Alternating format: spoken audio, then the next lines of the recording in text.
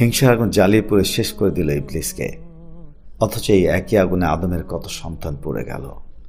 কাবিল হত্যা করল তার নিজের ভাই হাবিলকে। ইয়াকুবের দশ পুত্র কুয়ায় ফেলে দিল তার প্রিয় পুত্র ইউসুফকে আলহাম কিন্তু পরিশেষে কি দেখা গেল? ইয়াকুবের দশ পুত্রকে আল্লাহ সম্মানিত করলেন নাকি ইউসুফকে?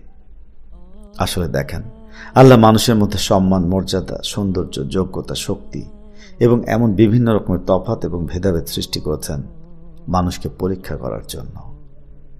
এবং প্রত্যেক উত্তম ব্যক্তির জন্য আল্লাহ তাকে হিংসা করার মতো আরও দশ বা শত বা হাজারো ব্যক্তি সৃষ্টি করেছেন। ভালো কিছু দেখলে মানুষের হিংসা হয়।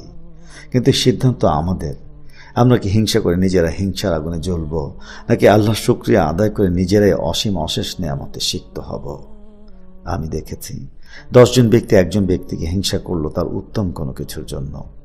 সেটা হতে পারে সৌন্দর্য, জ্ঞান, সম্মান, ক্ষমতা, সম্পদ বা হতে পারে ভালোবাসা। আল্লাহর পরিকল্পনায় দিন শেষে ওই দশ ব্যক্তি লাঞ্ছিত হলো এবং ওই এক ব্যক্তিকেই বাকি দশ ব্যক্তির উপর মর্যাদা এবং সম্মান দান করা হলো। তারা যে বিষয়ে হিংসা করল তা তো তারা পেলই না, বরং যা তাদের ছিল, সেটাও তারা হারিয়ে ওই ব্যক্তির সামনেই অপমানিত হলো। আপনাদের কি স্মরণ আছে? যখন ইউসুফের ভাইরা তার কাছে ভিক্ষা চাইল এবং বলল, আমাদেরকে সাদাকা দিন। আল্লাহ সাদাকাকারীদেরকে উত্তম প্রতিদান দেন। তাই আসুন, হিংসা না করি। নিজের অসুখের যন্ত্রণাতে কাতর হয়ে কুল পাচ্ছি না। এর মধ্যে আরেকজনের সুখ দেখে জাহান নামের আগুনে চলে না উঠি।